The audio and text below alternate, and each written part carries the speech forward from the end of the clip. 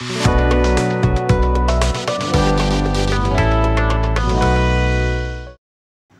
the Lion King has been announced at D23 Expo and is set to release in 2024. Keep watching the video as we are gonna tell you everything that we know about it so far.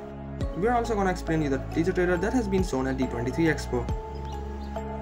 Welcome to Movie World Network, a best place to spend your free time while watching some of the best movie content across the whole globe.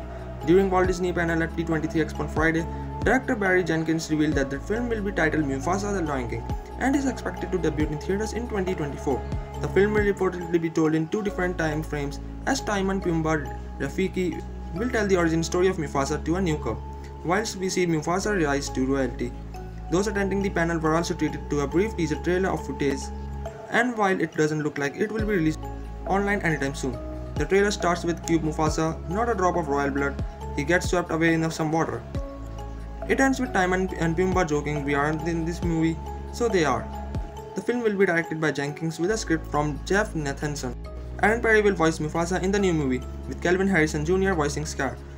The movie is totally based on the famous quote which says that kings aren't just born, they aren't just born, they have to become who they are, through a series of events that a lot of people can relate to. As we told you that Mufasa the Lion King has a, is expected to debut in theaters in 2024.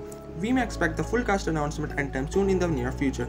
Since the fans were expecting a Lion King sequel, it becomes more important for Disney company to clear the backstory of these characters. We are gonna see a lot of action in this prequel, as it is gonna cover the story with full of struggles and challenges.